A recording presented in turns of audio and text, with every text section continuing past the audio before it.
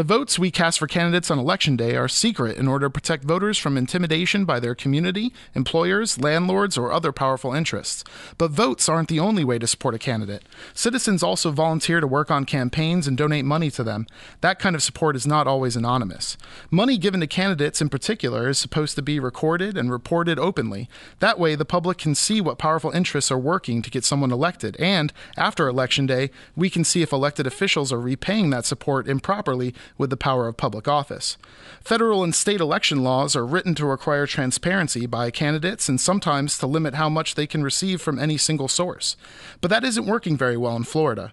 Wealthy groups and individuals are devising ways to cloak their donations, encouraging more and more secret or dark money to enter into campaigns and potentially mislead voters. Here is one example for how that worked in a recent election.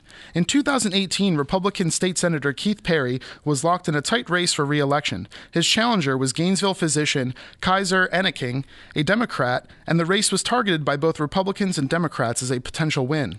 Charles Goston, a former Gainesville City Commissioner and longtime Democrat, lost his race for municipal office in March and in late June jumped into the Senate race between Perry and Enneking, filing as an independent candidate. A nonprofit corporation called Broken Promises was formed on August 29th by Sean Anderson with a Washington, D.C. address that turns out to be a UPS mailbox.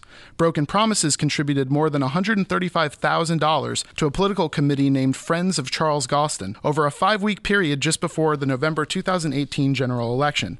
Goston's PAC gave $1,000 directly to the Goston campaign, but most of the money went directly to advertising. It isn't clear where most of the advertising money was spent, as Broken Promises wasn't required to list it on public documents. But Goston's own digital publication, Black College Monthly, received money directly from his own campaign.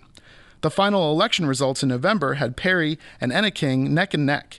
In the end, Perry beat out Enneking by less than 2,000 votes. Goston, the longtime Democrat, drew more than 4,300 votes, enough to swing the race to the Republican incumbent. So, who is behind the money that supported Goston entering the race? Tracing money that went directly to Goston's campaign leads to Republican lobbyists with ties to Keith Perry and to Data Targeting, a Gainesville based political consulting firm that has helped Republican candidates across Florida. His campaign directly received $1,000 checks from Tallahassee groups like 537 LLC, Albiana LLC, and Johnson and Associates, who all share the same post office box address. The Republican lobbyists also paid nearly $64,000 to GOP operatives and committees working for Senator Keith Perry. Goston says he doesn't know where the money came from, that he doesn't care, and that voters don't have a right to know.